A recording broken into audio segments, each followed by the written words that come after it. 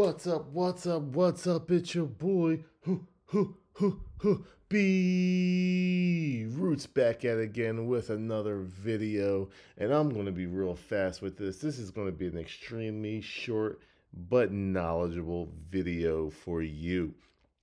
I think the biggest play in the next two weeks is going to be CRO.com. And this is the reason why they purchased a $6.5 million Super Bowl ad commercial. So to me, it's going to be very similar to a run up like Dogecoin had in the past with Saturday Night Live. This is something big for the crypto space. Everyone's going to be like, what is crypto.com? What is Crow? And there's going to be a nice, in my opinion, buy the rumor, sell the news event on Super Bowl day. Likely it will be sold into.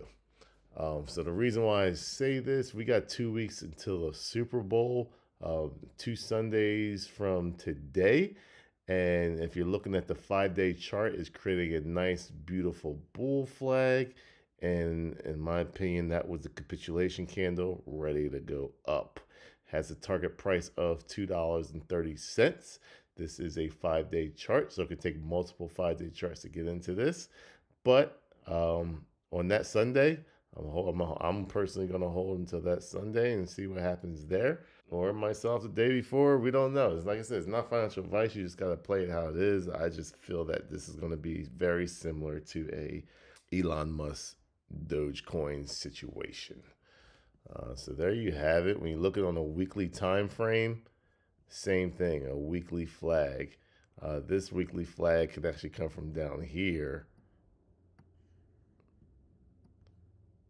up to that weekly flag. And let's see where that will go to. This is a little more aggressive. You're talking $6.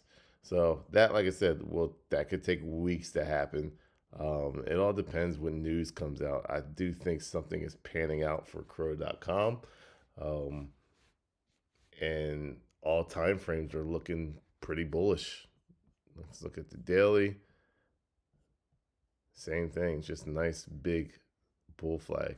Um, so there's some information for you. You can do some research. I just know that they also did a partnership with LeBron James. Um, they're doing some charity event with LeBron James. Obviously, everybody knows that they purchased out the Staples Center in LA, so now it's called Crypto Crypto.com Arena. Uh, there's a lot of bullish things going for this, and we got two weeks until the Super Bowl Sunday. So it could be a nice, easy, quick play to double, triple, quadruple your money. that's what you choose to do. If not, take the information and just kind of learn from it and just notice how that there's going to be a lot of buy the rumor, sell the news events in crypto. And that's what this space is all about. So take it how you want to take it. Please like, subscribe, um, and make sure you hit the bell button. And if you haven't already, add me on Twitter at IMBRoots. See you on the next one.